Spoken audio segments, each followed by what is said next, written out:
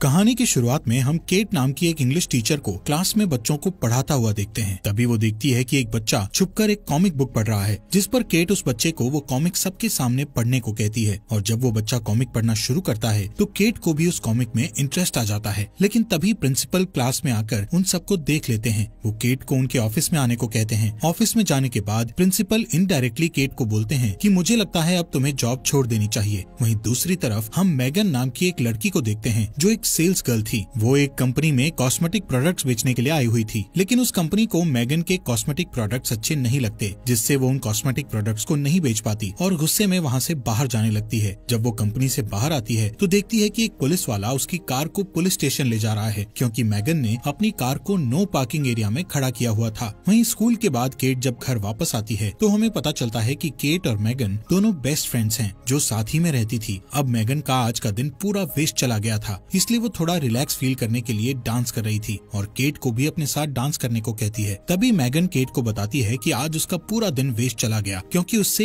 एक single product भी नहीं बिक पाया और साथ ही उसकी कार को नो पार्किंग एरिया से पुलिस ने उठा लिया। यहाँ पर केट भी उसको बताती है कि प्रिंसिपल ने भी उसे नौकरी छोड़ने के लिए कहा है। Well next day Megan Kate को सुबह चार बजे ही जगा देती है और उसको कहती है कि उन्हें कहीं जाना है। लेकिन केट मैगन से कहती है कि इस बारे में हम सुबह बात करेंगे, लेकिन मैगन उससे कहती है कि उनकी फ़्लाइट को सिर्फ़ तीन घंटे रह गए हैं। यहाँ केट मैगन के साथ जाना तो नहीं चाहती थी, लेकिन मैगन ने पहले से ही उसकी टिकट्स बुक करा रखी थी। तो केट को मैगन के साथ मजबूरी में जाना ही पड़ता है। एयरपोर्ट पर पहुँचने के बाद मैगन एयरपोर्ट पर लंबी लाइन देखकर समझ जाती है कि अगर वो इस लाइन में लगे रहे तो उनकी फ़्लाइट मिस हो जाएगी। तभी मैगन एयरपोर्ट पर काम कर रहे एक लड़के के पास जाकर उसके साथ फ्लर्ट करने लगती है, जिससे वो लड़का उन्हें बिना लाइन में इंतज़ार करे आगे भेज देता है। इसके बाद केट और मैगन दोनों प्लेन पर चढ़कर अपनी अपनी बुक की हुई सीट पर बैठ जाती हैं। केट को ऊंचाई से बहुत डर लगता था, इसलिए वो एंग्जाइटी पिल्स खा लेती है। थोड़ी टाइम बाद रायन नाम का एक लड़का वहाँ आकर उन दोनों के बीच वाली सीट पर बैठ जाता है। रायन एक फायर फाइटर था, इसलिए उन दोनों को ही रायन बहुत ज़्यादा पसंद आता है, जिससे मैगन और केट दोनों ही रायन के साथ फ्लर्ट करना शुरू कर देती हैं। लेकिन ज़्यादा एंग्जाइटी पिल्स लेने की वजह से केट थोड़ी देर बाद बेहोश हो जाती है। तभी प्लेन का कैप्टन एक अनाउंसमेंट करता है कि फ्लोरिडा में भारी तूफ़ान आने की वजह से वो प्लेन को सेंट लुई में लैंड करा रहे हैं। अब यहाँ पर अगली फ़्लाइट के शेड्यूल होने तक मैगन और केट सेंट लुई के एक शेरेटन नाम के होटल में रुक जाते हैं। होटल के रिसेप्शन पर पहुंचकर मैगन को पता चलता है कि उसका बैग एयरपोर्ट पर ही कहीं खो गया है। इस बात से वो अपसेट हो जाती है। फिर भी वो दोनों अपने रूम में जाने के लिए लिफ्ट में चढ़ने लगती हैं कि तभी वहाँ उन्हें रायन मिलता है। रायन के पूछने पर मैगन उसे बताती है कि हम यहाँ पर अपनी फ्रेंड की शादी के लिए आई हैं। साथ ही वो रायन से भी पूछती हैं कि तुम यहाँ पर क्यों आए हो, जिस पर रायन उन्हें बताता है कि वो भी शादी में कुछ दिन बाकी होने की वजह से वहाँ पर रुका हुआ है। यहाँ पर रायन उन दोनों से शाम को उसके साथ ड्रिंक पर चलने के लिए पूछता है, जिसके लिए वो दोनों हाँ कर देती हैं। अपने रूम में पहुँचने पर मैगन केट से कहती है कि मेरा बैग एयरपोर्ट पर रह गया है, इसलिए मेरे पास अब शाम को पहनने के लिए कुछ भी नहीं है। तो क्या तुम अपनी ड्रेस मुझे दे सकती हो? केट उसे ये कहते हुए मना कर देती है कि मेरे पास भी सिर्फ़ एक ही ड्रेस है। शाम को केट मैगन को बिना बताए रायन से मिलने अकेले ही चली जाती है। रायन केट से मैगन के बारे में पूछता है। केट उसे कहती है कि मुझे नहीं पता मैगन क्यों नहीं आई। यहाँ पर वो दोनों बात कर ही रहे थे कि तभी रायन मैगन को आते हुए देखता है। मैगन एक ट्रेडिशनल ड्रेस पहनकर आ रही थी। रायन मैगन को इंडियन ड्रेस में देखकर सरप्राइज़ हो जाता है, क्योंकि इंडियन ड्रेस में वो बहुत ही ज़्यादा खूबसूरत लग रही थी। तभी वो न्यूज़ में देखते हैं कि फ्लोरिडा में तूफ़ान और भी ज़्यादा भयानक हो गया है, जिससे उनकी फ़्लाइट और भी ज़्यादा लेट कर दी गई है। इस न्यूज़ को सुनकर रायन बहुत परेशान हो जाता है। अब रायन को थोड़ा रिलैक्स फील कराने के लिए केट और मैगन उसके सामने डांस करती है, लेकिन डांस करते वक्त मैगन बहुत एक्साइटेड हो चुकी थी, जिससे उसकी ड्रेस नीचे गिर जाती है। इसके बाद वो तीनों वहाँ से होटल वापस जाते हैं। अपने रूम में जाते वक्त मैगन केट से लड़ने लग जाती है कि तुम रायन से मिलने अकेले क्यों चली गई थी? क्योंकि वो दोनों ही रायन को पसंद करती थी। अगले दिन मैगन रायन से कहती है कि हम तीनों को हॉट एयर बलून की राइड लेनी चाहिए। अब क्योंकि केट को ऊंचाई से डर लगता था, इसलिए वो उनके साथ जाने से मना कर देती है। इसी बात का फ़ायदा उठाकर मैगन रायन से कहती है कि फिर हम दोनों को ही हॉट एयर बलून के लिए जाना चाहिए। लेकिन केट मैगन को अकेले रायन के साथ हॉट एयर बलून पर नहीं जाने देना चाहती थी। इसलिए ऊंचाई से डर लगने के बावजूद भी वो हॉट एयर बलून पर जाने को तैयार हो जाती है। बलून का कैप्टन थोड़ा ऊंचाई पर पहुँचते ही उनको बताता है कि वो 500 फीट की ऊंचाई पर पहुँच गए हैं। ये सुनकर केट और भी ज़्यादा डर जाती है। केट को डरता देखकर रायन उसको शांत करने की कोशिश करने लगता है, लेकिन इसी बीच मैगन शैंपेन की बोतल को खोल देती है, जिससे उस बोतल का ढक्कन सीधा ज़मीन पर जाकर बलून उड़ा रहे कैप्टन की आँख पर ज़ोर से लगता है और उसे कुछ भी दिखाई नहीं दे रहा था। अब क्योंकि कैप्टन की एक आँख पहले से ही नहीं थी, इसलिए वो बिना देखे ही अपना हॉट एयर बलून एक बच्चों की चल रही पार्टी में लैंड कर देता है। इसके बाद वो तीनों दोबारा होटल में चले जाते हैं। होटल में पहुंचकर रायन उनको कहता है की पूल में स्विमिंग करने जा रहा हूँ। अब क्यूँकी रायन उन दोनों ऐसी बलून राइड खराब करने के लिए नाराज़ था इसलिए केट और मैगन पूल में रायन को इम्प्रेस करने के लिए बहुत छोटी ड्रेस पहनकर आ जाती हैं। वो दोनों रायन के सामने एक साथ पूल में डाइव लगा देती हैं, लेकिन पूल में कूदने की वजह से मैगन की आँख पर चोट लग गई थी। नेक्स्ट डे वो दोनों उस होटल के कैफ़े में बैठी हुई थी जहाँ पर केट जूस पीते वक्त रायन को एक बैग के साथ कहीं पर जाते हुए देखती है। वो दोनों जल्दी से उसके पास जाकर उससे पूछती हैं कि आखिर तुम कहाँ जा रहे हो? रायन उनको बताता है कि वो एक वेडिंग में जा रहा है, जिस पर मैगन और केट रायन से कहती है कि क्या हम भी तुम्हारे साथ चल सकते हैं? रायन उनको अपने साथ जाने के लिए हाँ कह देता है। अब वेडिंग में जाने के लिए वो एक कार में बैठते हैं, जिसके ड्राइवर का नाम क्रैक था। क्रैक को मैगन बहुत पसंद आती है। रास्ते में मैगन रायन के हाथ पर लोशन लगाने लगती है, क्योंकि उसके हाथ पर मामूली सी चोट लग गई थी। लेकिन ये देखकर केट मैगन से जेलस फील करती है, इसलिए वो क्रैग और रायन को अपने फ़ोन में मैगन की एक बचपन की फ़ोटो दिखाते हुए उसका मज़ाक उड़ाने लगती है। कुछ टाइम बाद क्रैग गाड़ी में पेट्रोल भरवाने के लिए एक फ्यूल पंप पर कार रोकता है। उस फ्यूल पंप पर केट वॉशरूम के लिए चली जाती है, लेकिन तभी बाहर से मैगन वॉशरूम का डोर बंद कर देती है, क्योंकि वो केट से अपनी इंसल्ट का बदला लेना चाहती थी। अब केट बाथरूम में फंस गई थी। बाहर मैगन रायन के साथ फ्लर्ट कर रही थी, लेकिन किसी तरह केट बाथरूम की विंडो से बाहर निकल आती है, लेकिन उसके सारे कपड़े गंदे हो चुके थे। केट की ऐसी हालत देखकर रायन केट से पूछता है कि तुम्हारे कपड़े गंदे कैसे हो गए, जिस पर केट गुस्से से उनको बताती है कि कोई सिरफिरा बाथरूम को बाहर से लॉक कर गया था। यहाँ पर केट जल्दी से एक वाटर पाइप से खुद को साफ़ करती है और इसके बाद वो चारों वेडिंग के लिए निकल पड़ते हैं। रास्ते में केट रायन को अपनी तरफ़ लाने के लिए उसे कहती है कि मेरे कंधे पर चोट लग गई है, जिससे रायन केट के कंधे की मसाज करने लग जाता है। अब यहाँ पर ये देखकर मैगन गुस्से से भर जाती है। इसलिए वो एक वाइन बॉटल में नींद की गोलियाँ मिलाकर केट को पीने के लिए देती है, लेकिन केट वो वाइन पीने से मना कर देती है, क्योंकि अब वो जान चुकी थी कि ये बस मैगन की एक चाल है। यहाँ पर ग्रेग मैगन के हाथों से बॉटल लेकर पूरी पी जाता है। कुछ वक्त बाद मैगन केट और रायन सो जाते हैं, लेकिन इसी बीच नींद की गोलियों की वजह से ग्रेग को भी ड्राइव करते समय नींद आ जाती है, जिसकी वजह से थोड़ी दूर जाकर उनकी कार का एक्सीडेंट हो जाता है। एक्सीडेंट की वजह से उन चारों को रात एक होटल में बितानी पड़ती है। जब केट कार से नीचे उतरने लगती है तो उसे कार में पड़ी उस खाली वाइन बोतल में नींद की गोलियाँ दिखाई देती हैं, जिस वजह से केट होटल में मैगन से अलग अपने लिए एक रूम बुक करती है। होटल में देर रात को जब केट एक वेंडिंग मशीन में अपने लिए कोल्ड ड्रिंक लेने आई हुई थी, तभी उसे वहाँ रायन मिल जाता है। रायन केट से कहता है कि मैं हर समय मैगन के साथ होने की वजह से तुमसे प्राइवेट में बात नहीं कर पा रहा था। इतना कहते ही रायन केट को किस कर लेता है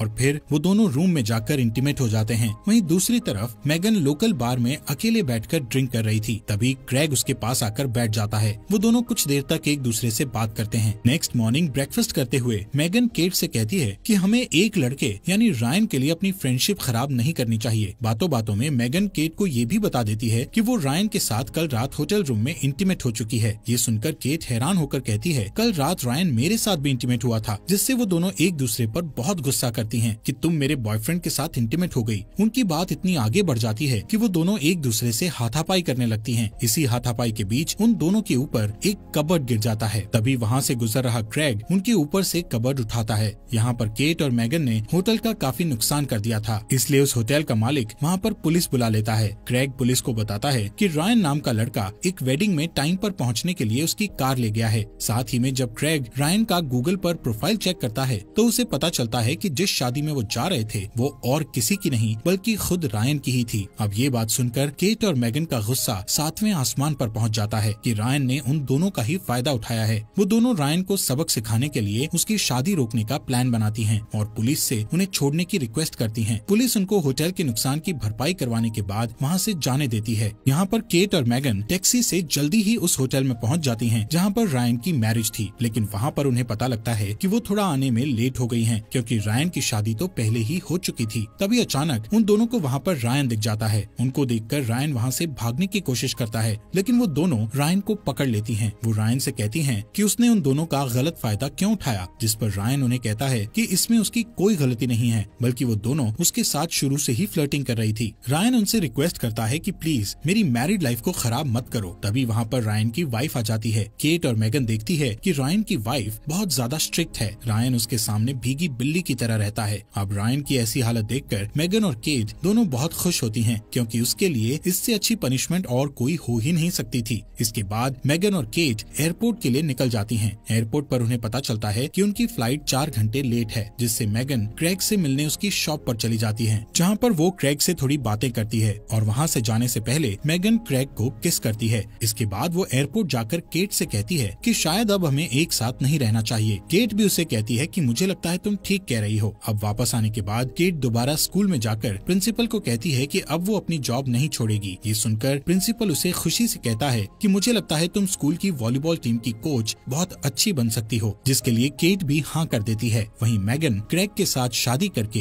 रिलेशनशिप में आ गई थी। दोस्तों, हमारे फॉक्स एक्सप्लेनर हिंदी चैनल को सब्सक्राइब करना मत भूलना।